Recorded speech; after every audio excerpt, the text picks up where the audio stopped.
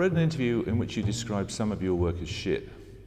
Is there any? Shit. Yes, shit. You used the word shit.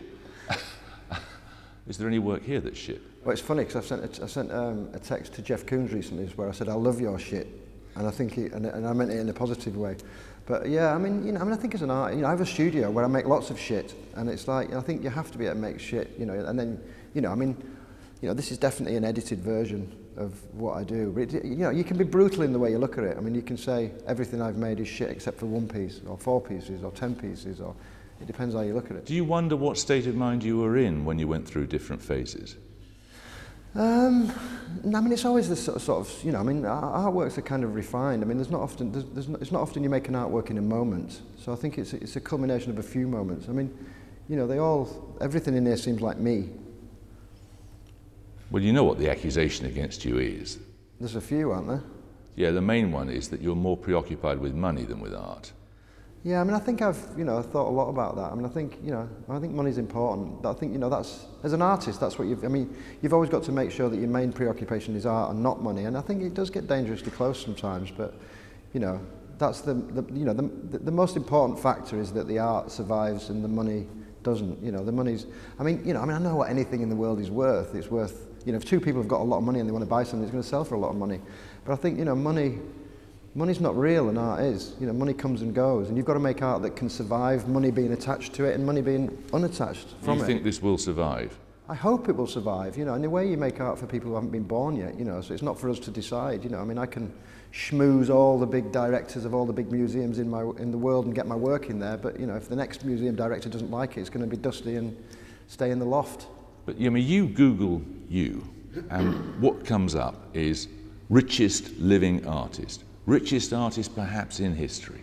That sort of accusation suggests to people that you're more preoccupied with how the market works than you are with finding new ways of seeing.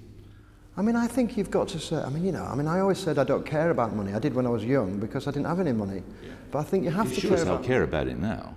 Yeah, I mean, I remember when I, after I did my auction, I was walking down the street and businessmen were going, that's Damien Hirst. And it was only their wives who used to do it, you know.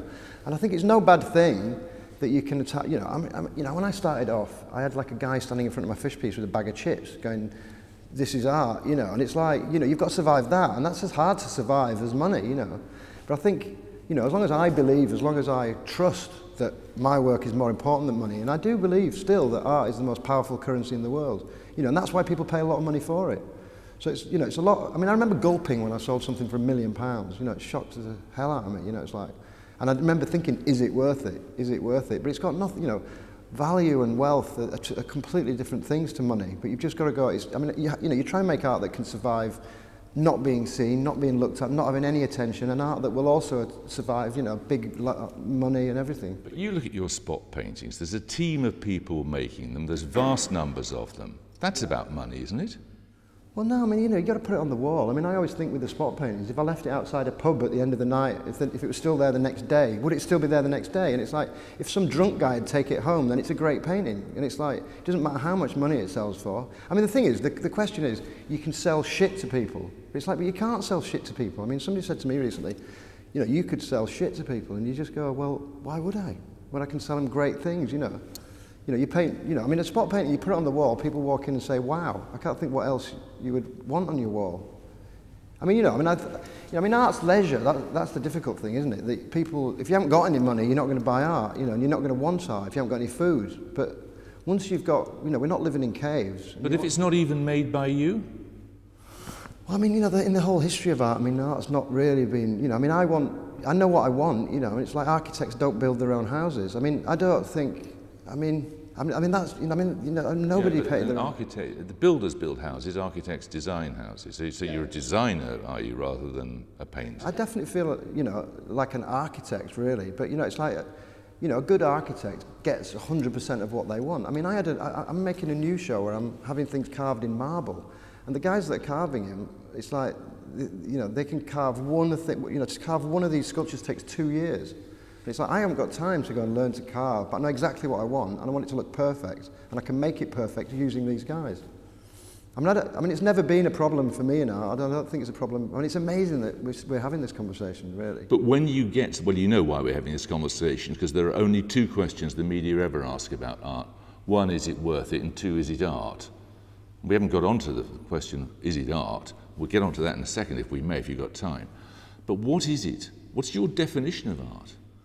I mean, somebody asked me that the other day. I said, uh, if it's in an art gallery, it's art. You know, but I mean, I, I actually think that anything done well is art.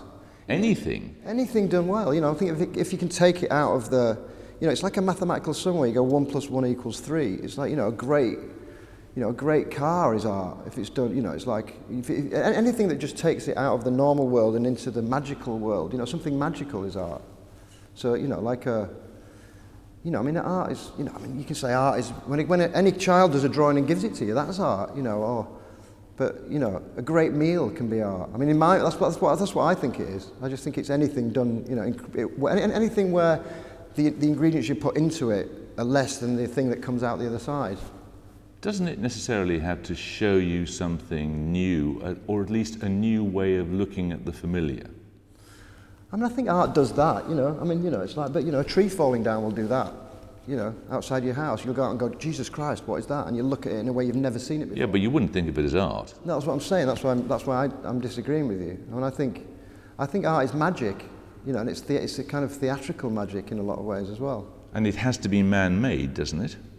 Well, yeah, I mean, I think, yeah, art is made by artists, of course. I mean, I, you know, I remember once when I was younger, they don't have it anymore, but I put on occupation on my passport and it says artist, and you go, well, that's great, I'm an artist, you know, I can prove it to somebody. But then uh, also at the same time, you go into, uh, you know, I was at, when I was an art student, I went into my bank manager and he said, uh, to get a loan, and he said, what are you doing? I said, I'm an artist, and he rolled his eyes, you know, and you think, so it's not a great thing in that situation. You wouldn't do that now, would you? Now I get Christmas cards off my bank manager now. That's a bad sign. Damien Hirst, thanks very much. Thanks.